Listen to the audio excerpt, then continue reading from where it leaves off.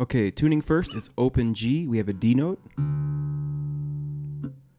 We have a G note, followed by a D, followed by a G, followed by a B, followed by a D. So your two E's need to become D notes, and your A needs to go down a whole step to become a G as well. Okay?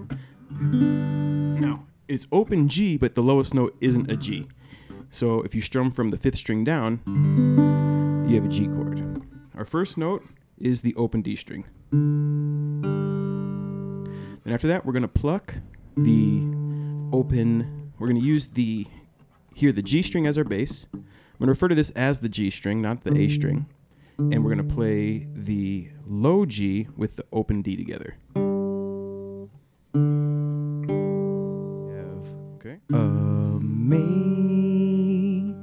Bass note is this G string again.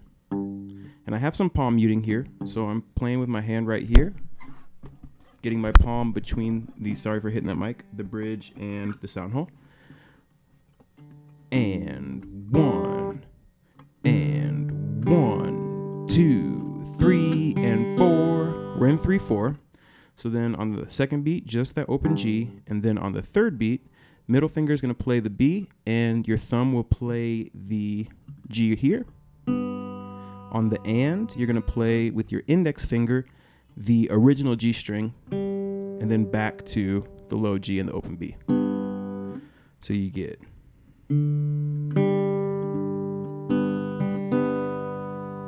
So far, I haven't even used my left hand.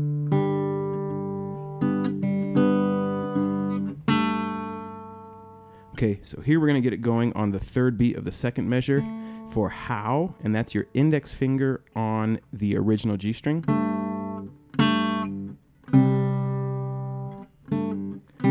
Your ring finger is then going to come down and fret the fifth fret of that G string, which produces a C note. So this is going to imply our C chord. This is sweet, sweet the sound.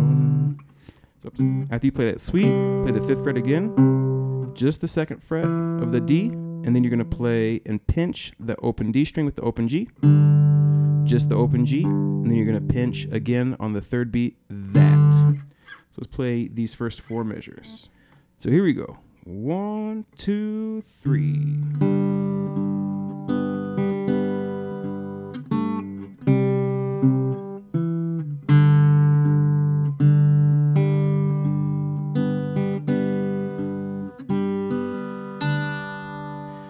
Get up here and we're going to start off. We're going to pinch again, G and G, followed by G, and then middle finger on the B with the G, and index follows up on the other G string. So it's one, two, three, and and then here we're actually using both our fingers to pinch the B and the G. So with that we get.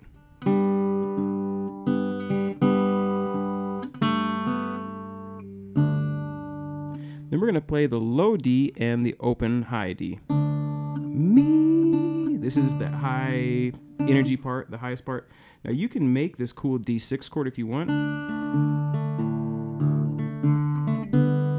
And we're going to do just that. We're going to fret second fret on the G string and second fret on the G string. That makes them A notes, and a D chord is a D, F sharp, and A. So we're adding the fifth interval there. We're just going to finger pick through that. One and two and three. One and two and three. And your bass is going to alternate. Your index finger will play that second fret of the high G, and your bass is going to hit the D string and the G string. So you go one and two and three. Then you're going to drop down one and two and three. So those last two measures, nice and slow, would be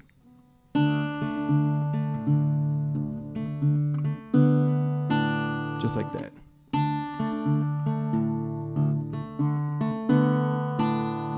So these four measures would sound like this.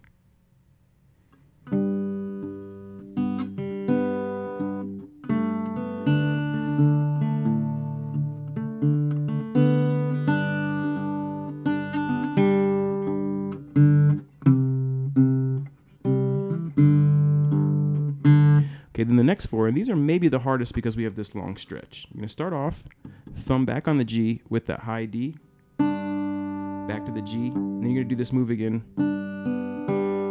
But after you play the open high D and your index grabs the B, it's gonna go down a string and you're gonna pinch G with G together. So you get one, two, three, and four. Pluck it again, and then you're gonna pinch the G with the low D together on the third beat. Once was lost, but this is the hard stretch to articulate because you're going to get your pinky on the fifth fret and your index on the second fret. Pinky's on the G string, index on the D. You're going to play that, fifth fret again, then lift it up and play it with the open G and then right back to the second fret on the and. So you get one, two, three, and then you pinch that G in the open D, just the G, and the G in the open D. So that last measure is just one, two, three. That one's easy. So these three together would sound like this.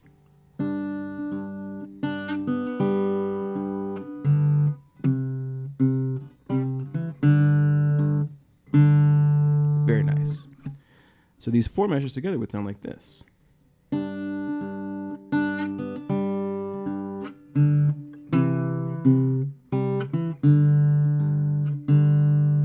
Very nice. Okay, last four.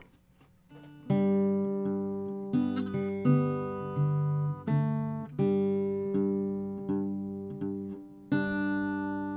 we're gonna start off here.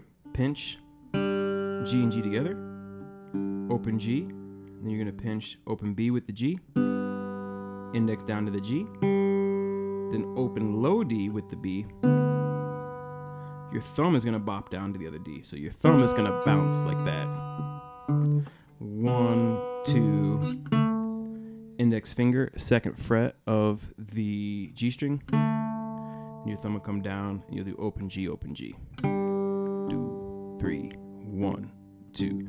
And then after you finish, one, two, three, one, you would play the G and the D together to start over and play the next verse.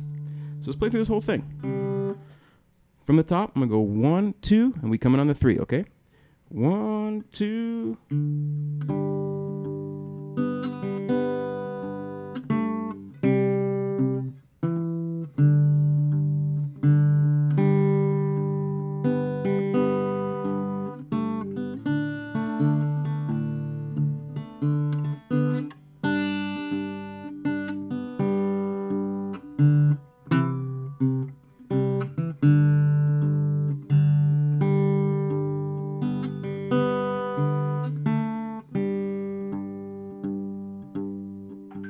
Then you jump back in right there if you want to. If we want to with this tuning, we can take the melody a whole octave higher as well.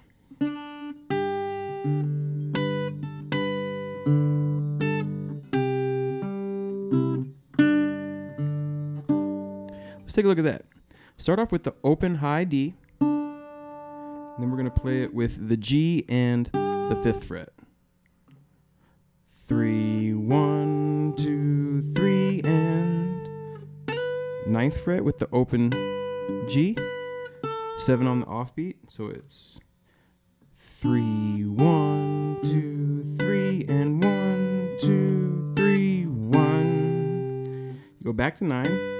Your thumb will hit the D, back up here, and then you're gonna play seventh fret of the high D and the open G. And you're gonna bar the fifth fret from the G string down, and you're gonna play with the fifth fret of the high D. And now my bass is alternating. I'll drop down here, then I'm gonna come back up, and I'm gonna play fifth fret of the B string and fifth fret of the new G together. To seventh fret of the old G with the open G. So from the top you would get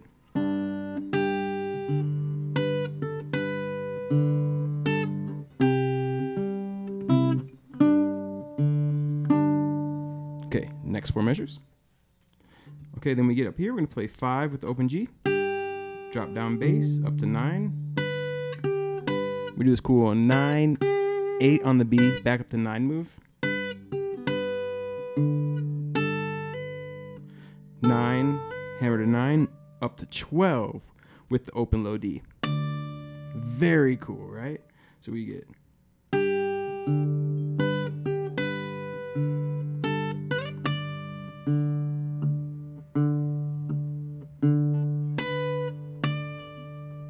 gonna vamp on that for a while. And then you're gonna pluck nine again on the third beat. Back up to 12, but this time with the G.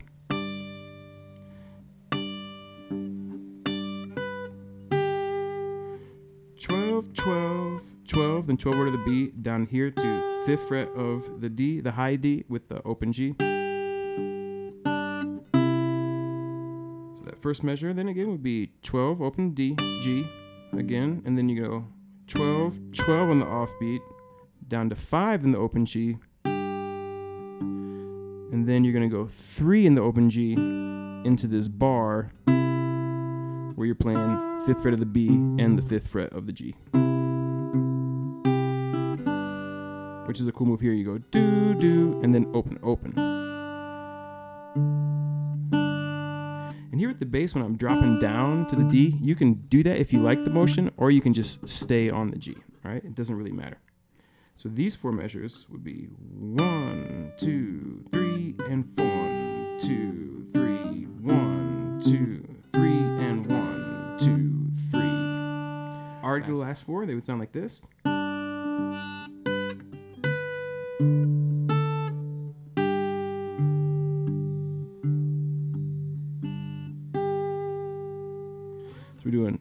Fret here with the open, do, do, nine and eight, that move again. Back to nine, but this time with the open low D. And then we're gonna go bounce to the D and then seven. And then we're gonna resolve, this is a G note here with the G.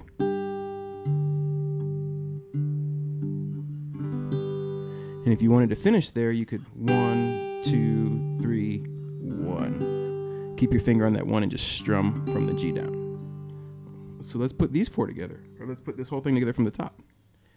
Here we go with this one.